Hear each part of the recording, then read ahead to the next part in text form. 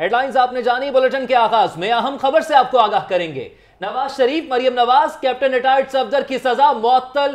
اسلام آباد high court نے سزا، معطلی کی درخواستوں پر فیصلہ سنا دیا۔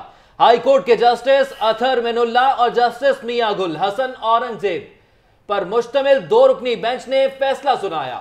احتساب عدالت نے ایون فیلڈ ریفرنس میں نواز شریف، مریم نواز اور کیپٹن ریٹائرڈ صفدر کو سزا سنائی تھی۔ آپ کو یہاں پر اہم خبر سے آگاہ کر رہے ہیں۔ اس حوالے سے مزید جانیں گے سلمان تاریخ سے۔ جی سلمان تاریخ آگاہ کیجیے گا۔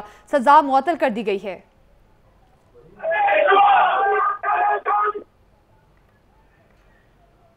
اسلام آباد ہائی کورٹ نے سزا معطل کر دی۔ ہائی کورٹ کے دو رکنی بینچ نے بڑا فیصلہ سنایا ہے۔ نواز شریف، مریم نواز، کیپٹن صفدر کی سزا معطل کر دی گئی ہے۔ بڑی خبر سے آپ کو آگاہ کر رہے ہیں۔ اس وقت نواز شریف، مریم نواز، کیپٹن صفدر کی سزا معطل کر دی گئی ہے اور اسلام آباد ہائی کورٹ کی جانب سے یہ بڑا فیصلہ سنایا گیا ہے اور تین بجے یہ فیصلہ سنانا تھا اور ٹھیک تین بجے یہ فیصلہ سنا دیا گیا ہے۔ اسلام آباد ہائی کورٹ کی جانب سے اور دو رکنی بینچ نے یہ بڑا فیصلہ سنایا ہے۔ احتساب عدالت نے ایون فیلڈ ریفرنس میں نواز شریف، مریم نواز، کیپٹن صفدر کی سزا معطل کر دی ہے۔ آپ کو تازہ ترین تفصیلات سے آگاہ کر رہے ہیں۔ نواز شریف، مریم نواز، کیپٹن صفدر کی جو سزا ہے وہ معطل کر دی گئی ہے۔ اسلام آباد ہائی کورٹ نے نواز شریف، مریم نواز اور کیپٹن صفدر کو رہا کرنے کا حکم دے دیا۔ عدالت نے تینوں کو زمانتی مچل کے جمع کرانے کی ہدایت کر دی۔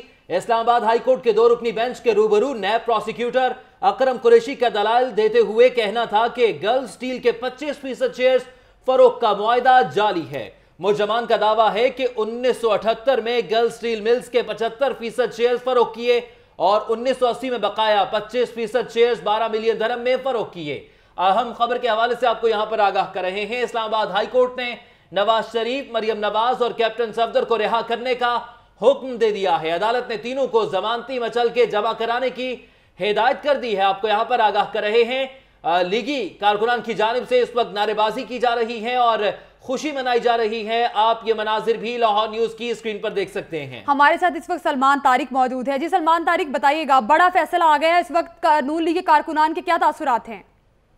جی مسلم لیگ نون کے جتایت قائد نواز شریف اور مریم نواز اور کیپٹن صفدر کے جو فیصلہ آیا ہے ابھی اسلام آباد ہائی کورٹ میں جو ان کی سزاؤں کی مطلع کرنے کا فیصلہ اس کے حق میں آیا اس کے ساتھ ہی فیصلہ سنتے ساتھ ہی نصیر آباد آفس جو لاہور آفس ہے مسلم لیگ نون کا وہاں پر موجود جو کارکنان موجود تھے، ٹی وی پر ٹکٹی کی باتیں سن رہے تھے۔